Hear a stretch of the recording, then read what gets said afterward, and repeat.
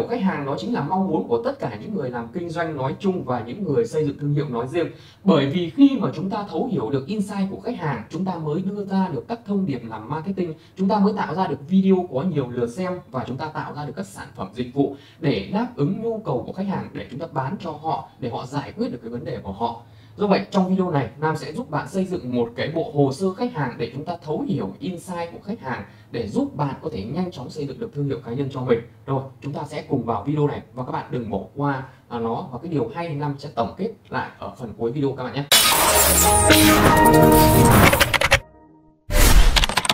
Có bao giờ hỏi rằng là tại sao khách hàng lại cần tới sản phẩm của mình không? Và nếu như bạn không đặt câu hỏi đó, bạn cứ mua sản phẩm về bạn bán thì chắc chắn rằng là sự thất bại đến với bạn nó sẽ rất nhanh chóng thôi. Bởi vì khách hàng người ta không mua sản phẩm mà họ mua cái lợi ích, cái giá trị mà sản phẩm đó đem lại. Làm lấy ví dụ như một chiếc khoan chẳng hạn. Vậy thì với một chiếc khoan thì bạn bán một chiếc khoan như thế nào? Và tại sao khách hàng của bạn lại cần một chiếc khoan? Đó. Vậy thì với những người người ta dùng khoan ở gia đình của họ Đấy, bạn bán cho họ một cái khoan để họ về dùng cho gia đình thì họ không phải họ cần một cái khoan đâu các bạn ạ. Mà họ thứ mà họ cần đó chính là họ muốn treo một bức tranh lên tường. Đấy, họ muốn khoan một cái lỗ để treo một bức tranh lên tường chứ không phải họ cần cái khoan. Do vậy để chúng ta hiểu được cái mong muốn cuối cùng của khán giả của khách hàng thì chúng ta phải đặt ra câu hỏi chúng ta phải có thể hỏi họ chúng ta phải tìm hiểu trên nhiều nguồn khác nhau để chúng ta hiểu được cái nhu cầu cuối cùng của họ thông qua cái sản phẩm của chúng ta. Đó thì khi mà chúng ta hiểu được điều đó thì cái việc bán hàng của chúng ta mới trở nên dễ dàng hơn. Cái thông điệp chúng ta truyền đi khán cho khán giả cho khách hàng mới trở nên dễ dàng và uh, có tỷ lệ chuyển đổi cao được các bạn ạ.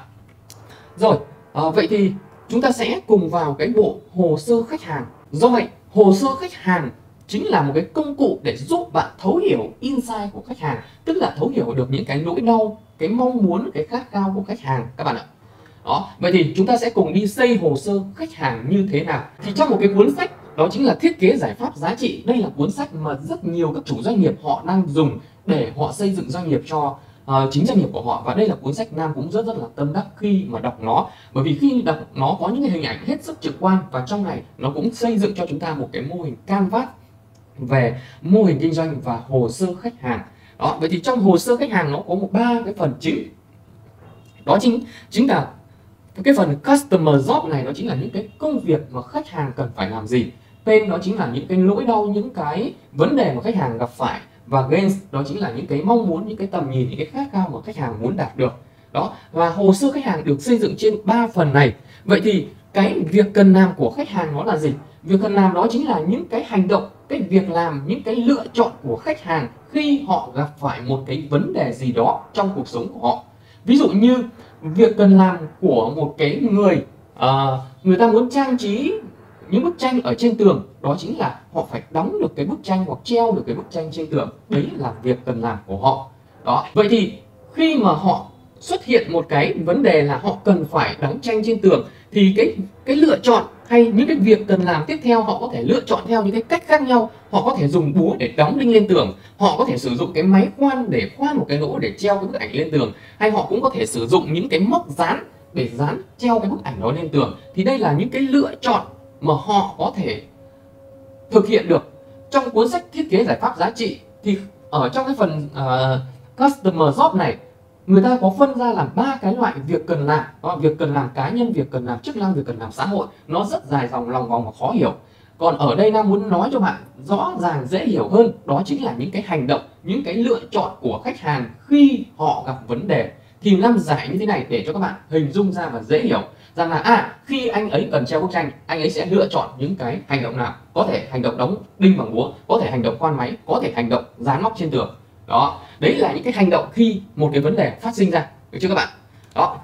Rồi còn vấn đề của khách hàng gặp phải đó chính là những cái khó khăn những cái nỗi đau của khách hàng đang gặp phải hay những nỗi đau được sinh ra từ những cái nỗi đau các khách hàng gặp phải. À, ờ, à, nỗi đau được sinh ra từ cái nỗi đau do khách hàng gặp phải. Cái này nam sẽ lấy ví dụ cho bạn như thế này. Ví dụ như bạn đang bị đau chân thì đây là một cái nỗi đau là nỗi nỗi đau về đau chân nhưng vì cái vì bạn bị đau chân nên bạn không đi làm được và bạn không có tiền. Nên cái nỗi đau thứ hai đó chính là nỗi đau không có tiền. Vậy thì cái nỗi đau không có tiền là cái nỗi đau do cái nỗi đau đau chân sinh ra. À, đấy là cái dạng nỗi đau do nỗi đau sinh ra. Đấy thì đấy hình lấy ví dụ như vậy để bạn hình dung. Còn ở đây ví dụ như trong cái chuyện uh, cái ví dụ về cái bức tranh vậy thì vấn đề của khách hàng gặp phải ở đây đó chính là anh ta không biết cách nào anh ta đang gặp vấn đề là không biết phải treo cái bức tranh lên tường như thế nào cả. Anh ta không biết phải trang trí bức tranh này như thế nào bằng cách nào để anh ta gắn được bức tranh lên tường thì đây là một vấn đề của khách hàng. Đó. Vậy thì uh, cái vấn đề này anh ta đau đầu anh ta cần phải tìm ra một cái phương án giải quyết để làm sao treo được bức tranh lên tường. Và sự sung sướng của anh ta mong muốn đó chính là những cái điều mà anh ta mong muốn được ví dụ ở trong ví dụ này là làm thế nào để treo được một bức tranh lên tường thật đẹp. Đấy.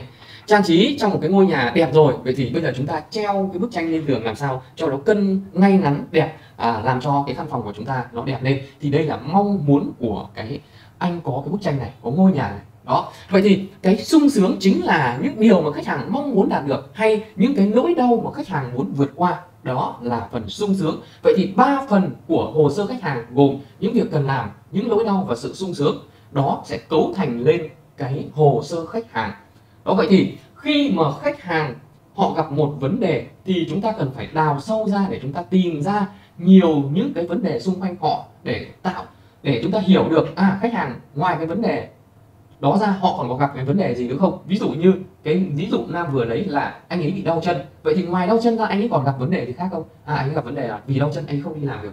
Vì không, vì đau chân không đi làm được nên anh không có tiền. Đấy là lỗi đau là không đi làm được. Lỗi đau là không có tiền. Và vì không có tiền nên anh ấy lại không có tiền để mua thuốc. Đấy là các lỗi đau được sinh ra do một cái nỗi đau nào đó. Vậy thì khi mà chúng ta làm được cái hồ sơ như vậy thì chúng ta đã hiểu được khách hàng. Vậy thì khi anh ấy không có tiền để giải quyết được trang trải được cuộc sống của anh ấy anh ấy không có tiền để mua thuốc. Vậy thì bây giờ chúng ta có giải pháp để giải quyết, giúp anh ấy giải quyết vấn đề đó. Đấy, chúng ta có giải pháp để giúp anh ấy giải quyết vấn đề đó. Thì đây gọi là cái vấn đề về giải pháp giá trị, tức là mình đưa ra các giải pháp để giải quyết vấn đề cho khách hàng. Đó, thì ở phần sau nam sẽ nói phần này. Rồi với vậy thì khi chúng ta xây dựng hồ sơ khách hàng, chúng ta cần phải hiểu được rằng là à nó có 3 phần. Và mỗi một phần đấy chúng ta hiểu nó như cái phần mà nam vừa phân tích cho bạn cái việc cần làm là những cái hành động khách hàng lựa chọn khi họ gặp phải nỗi đau. Những cái nỗi đau là những thứ mà họ gặp trong cuộc sống có thể là khó khăn có thể là đau bệnh có thể là những cái vấn đề phát sinh trong cái quá trình họ làm việc gì đó. Và cuối cùng là sung sướng đó chính là những điều mà khách hàng muốn đạt được điều mà khách hàng muốn vượt qua trong cái uh, vấn đề mà họ đang gặp phải để họ giải quyết nó. Đó đấy thì ba phần của hồ sơ khách hàng. Vậy thì khi bạn làm được ba phần này bạn sẽ dần dần hiểu được khách hàng của mình mong muốn điều gì. Rồi vậy thì sau khi mà anh ta gặp khó khăn trong việc là không biết làm thế nào để treo được một cái bức tranh lên tường. Thì anh ấy mới tìm đến một cái giải pháp là à một là đóng hai là à, khoan ba là dán lên. Thì lúc này chúng ta đưa cho họ những cái giải pháp. À, và nếu như bạn là người bán hàng thì lúc này bạn sẽ tư vấn cho anh ta rằng là à anh ơi nếu như anh đóng bằng búa nó có thể làm làm hỏng cái tường của bạn mà nó treo bức tranh không được chắc chắn còn nếu như bạn dùng miếng dán nó cũng có thể xinh đẹp đấy nhưng nó không có độ bền cao trong vài ngày nữa nó rơi xuống. Và bức tranh của anh là bức tranh rất quý giá nó vỡ ra thì sao? Và lúc này chỉ còn cách là anh hãy khoan lên tường những cái đinh vít chắc chắn để anh treo nó lên. Và để khoan được lên tường thì tôi có một cái máy khoan mini. À, máy khoan nhập khẩu mini này nó nhỏ gọn nhưng có sức khoan rất tốt để giúp bạn có thể treo được những bức tranh ảnh hay. Ngoài ra bạn còn có thể uh, uh, bắn vít lên các bộ phận khác à, nó là một cái thiết bị rất là đa năng. Thì lúc này người bán hàng mới tư vấn cho anh ta để anh ta hình dung ra cái thiết bị anh ta cần phải sử dụng. Đó thì đây là quá trình thiết kế giải pháp giá trị cho các vấn đề. Đó. Vậy thì giải pháp giá trị tức là những phương pháp giúp khách hàng đạt được mục tiêu mong muốn của họ hoặc giúp họ giải quyết các vấn đề mà họ đang gặp phải. Đó. Ờ, vậy thì trong cái câu chuyện này chúng ta đang giải quyết cho một cái anh chàng muốn treo một bức tranh lên là bằng cái khoan. Đấy, anh anh lấy cái khoan để anh treo bức tranh lên. Vậy thì cái mong muốn cuối cùng của khán giả của khách hàng này là treo bức tranh chứ không phải mong muốn của anh ta là cái khoan đúng không các bạn? Đó vậy thì nếu như chúng ta bán khoan mà chúng ta chỉ thao thao bất tuyệt nói về à cái khoan của tôi là cái khoan nhập khẩu từ đức uh, công suất rất cao nhưng giá thành lại rất rẻ thì khán giả người ta không người cái người khách hàng người ta không quan tâm mà người ta chỉ quan tâm là làm sao tôi treo được bức tranh lên tường. Đó làm sao tôi khoan được một cái lỗ khoan nên vậy thì lúc này bạn phải là người tư vấn cho anh ta một cái khoan theo một cách rõ ràng, chưa? Đó, vậy thì trong cái phần thiết kế giải pháp giá trị ở đây, nó sẽ có ba cái loại giải pháp giá trị. Có thể giải pháp giá trị về thông tin, giải pháp giá trị về sản phẩm vật lý và giải pháp giá trị về dịch vụ. Đó, ví dụ như bạn làm dịch vụ chẳng hạn, thì bạn phải đưa cho họ uh, một cái dịch vụ ví dụ như bạn làm dịch vụ về chăm sóc xe rửa xe hơi thì bạn đưa cho họ một cái dịch vụ là chăm sóc xe hơi một cách đặc biệt để chiếc xe luôn mới. Thì đấy là một cái giải pháp về dịch vụ. Còn nếu như bạn bán sản phẩm vật lý như chiếc khoan chẳng hạn thì bạn sẽ cung cấp cho họ một cái sản phẩm vật lý kèm theo là một một cái giải pháp về thông tin đó chính là hướng dẫn sử dụng cái khoan đó có hiệu quả. Còn nếu như bạn làm về thông tin như Nam chẳng hạn thì Nam sẽ cung cấp cho các bạn những cái giải pháp về thông tin để xây dựng thương hiệu cá nhân thành công. Đó đấy là tùy từng cái cái cái dịch vụ bạn uh, kinh doanh mà bạn cung cấp cho khán giả hay cái thiết kế giải pháp giá trị này nó là cái sản phẩm gì đúng không các bạn? Rồi quay trở lại cái câu chuyện về cái khoan. Vậy thì khi mà bạn bán một cái khoan thì chúng ta sẽ có hai phần chúng ta phải tập trung đó tính là tính năng và giá trị. Đó tính năng và giá trị. Vậy thì khi bán hàng chúng ta chỉ tập trung 30% vào tính năng và 70% vào giá trị. Chúng ta đừng quá tập trung vào tính năng khán giả không quan tâm khách hàng không quan tâm khi mà chúng ta nói nhiều về tính năng mà họ chỉ quan tâm tới lợi ích họ đạt được là gì. Đó do vậy khi bán hàng chúng ta cần phải tập trung vào những giá trị lớn nhất mà khách hàng đang mong muốn. Khách hàng đang mong muốn treo một bức tranh lên tường thì lúc này chúng ta phải nói cho họ biết rằng là đây là chiếc khoan có vòng quay lớn được nhập khẩu từ Đức lên nó có thể khoan được trên mọi chất liệu. Đấy, kể cả bê tông anh nhé đó và cái khoan này có độ bền rất cao vòng quay lớn lên nó sẽ khiến cho anh quay khoan dễ dàng này khoan được nhiều chất liệu này. Rồi nó nhỏ gọn thì giúp anh dễ dàng sử dụng này. Nguồn điện thì 24V này nên độ an toàn cực kỳ cao. Dù có dính nước cũng anh cũng không bị làm sao. Nên cái này nó sẽ giúp cho anh khoan được những cái mũi khoan rất là mịn. Đấy, mũi khoan rất là mịn êm và trên mọi chất liệu. Thì anh có thể treo tranh một cách dễ dàng đó. Và vì nó nhỏ gọn anh cũng có thể leo cao lên anh sử dụng cái khoan này một cách dễ dàng được đó. Vậy thì chúng ta phải xoáy vào những cái vấn đề đó để chúng ta bán một cái sản phẩm này chứ không phải là nói thao thao bất tuyệt và cái tính năng của nó là nhập khẩu đức nguồn điện bao nhiêu vòng quay bao nhiêu nó nhỏ gọn như thế nào. Rồi uh, tần số là sử dụng là tần số gì rồi chất liệu làm bằng gì. Khách hàng không quan tâm đến điều đó các bạn ạ. Họ quan tâm đến khoan cái mũi khoan dễ dàng mượt trên chất liệu và đóng được cái bức ảnh lên. Đó nên vậy thì đấy là cách mà chúng ta tư vấn cho khách hàng khi chúng ta thấu hiểu được insight khách hàng. Đó vậy thì tổng kết cái video này là chúng ta cần phải hiểu hồ sơ khách hàng là gì? Hồ sơ khách hàng đó chính là sự sắp xếp, phân tích cái vấn đề, cái việc cần làm và nỗi đau của khách hàng một cách khoa học để chúng ta hiểu được khách hàng của chúng ta đang gặp vấn đề gì, họ đang mong muốn điều gì và họ cần phải làm gì. Đó.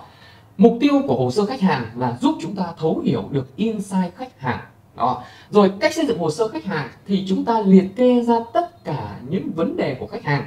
Khi khách hàng gặp phải. Sau đó chúng ta liệt kê ra những cái việc cần làm hay những cái hành động, cái lựa chọn của khách hàng cần làm. Và cuối cùng là chúng ta liệt kê ra tất cả những cái mong muốn của khách hàng khi họ gặp phải những vấn đề đó, hoặc những cái mong muốn để họ giải quyết những cái vấn đề đó. Được chưa các bạn? Đó, thì nó sẽ có 3 phần như vậy.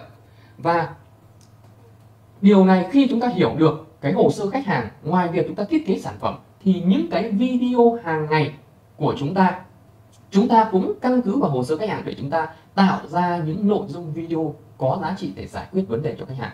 Đó, ví dụ như bạn có thể chia sẻ một nội dung là ba cách treo bức tranh ở nhà, ngay tại nhà, đó, mà không cần dùng đến thiết bị A, thiết bị B, thiết bị C, đó. hoặc là bạn chia sẻ cho họ cái mẹo là treo bức tranh mà không cần phải khoan vào tường. Đấy là dạng video. Họ, còn khi chúng ta hiểu được, chúng ta cũng có thể tạo ra series nội dung video để khiến cho khách hàng họ có thể giải quyết được cái vấn đề đó. Và khi giải quyết được cái vấn đề đó, họ sẽ cảm thấy thích thú với video của bạn, họ sẽ yêu mến video của bạn. Và lúc này bạn sẽ có fan hâm mộ và dần dần bạn sẽ có khách hàng từ những video đó. Rồi phần cuối cùng của nội dung của video này đó chính là giải pháp giá trị. Thì giải pháp giá trị nó chính là những cái phương pháp, những cái giải pháp để giải quyết vấn đề của khách hàng, giải quyết những cái mong muốn của khách hàng để giúp khách hàng đạt được mục tiêu họ mong muốn. Giải pháp giá trị có thể được thiết kế là sản phẩm thông tin, sản phẩm vật lý và sản phẩm dịch vụ. Với giải pháp giá trị thì nó được cấu thành bởi hai phần, đó chính là phần tính năng của sản phẩm và lợi ích của sản phẩm.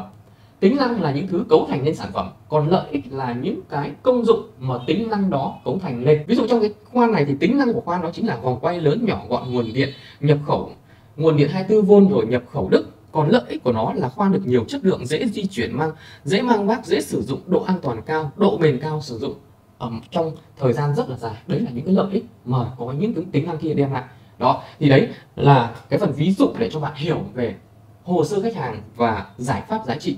Thì khi bạn hiểu được hồ sơ khách hàng và giải pháp giá trị này bạn sẽ hiểu được khách hàng và bạn cũng tạo ra được sản phẩm. Sản phẩm có thể thông tin có thể vật lý có thể là dịch vụ tùy theo bạn. Đó thì nam đã giải quyết cái câu chuyện là thiết kế giải pháp giá trị cho bạn như thế nào để bạn có thể hình dung ra và bạn có thể làm nó phần hồ sơ khách hàng là một cái phần khó với nhiều người mới và với nhiều doanh nghiệp mà non trẻ à, khi mà họ không có kiến thức về kinh doanh, họ đi lên từ nghề, thì cái việc xây dựng hồ sơ khách hàng nó là khó khăn với những những người này và bản thân nam ngày xưa cũng khó khăn trong việc xây dựng hồ sơ khách hàng. Nên nếu như bạn xem phần hồ sơ khách hàng có cái gì không hiểu, bạn có thể comment ở dưới video này. Nam sẽ tiếp tục làm video hướng dẫn chi tiết hơn về phần hồ sơ khách hàng để bạn hiểu và bạn làm được hồ sơ khách hàng cho cái ngách của mình, để bạn thấu hiểu được khách hàng. Và chỉ khi bạn thấu hiểu được khách hàng của mình, bạn mới đưa ra được những cái nội dung, cái thông điệp, những cái video giá trị tới khách hàng để giúp khách hàng giải quyết được vấn đề của họ. Đó rồi nội dung video của nam đến đây là kết thúc rồi. À, nếu như lần đầu tiên bạn à, xem video thì hãy ấn like subscribe kênh để chào đón video tiếp theo. Còn bây giờ xin chào hẹn gặp lại các bạn trong các video tiếp theo.